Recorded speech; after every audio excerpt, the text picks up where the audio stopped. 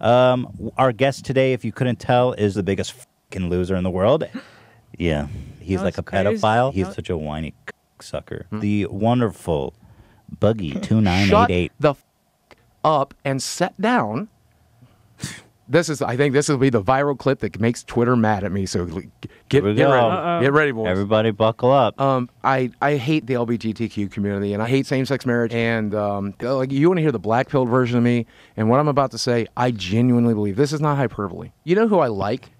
Donald Trump. I like have so much respect for that guy, and like I want to celebrate that man. I want to applaud that man. I want to just write him a check and just do this more, please. Can we have that in this nation? I'll go on the record and say that Donald Trump did say the N word several times.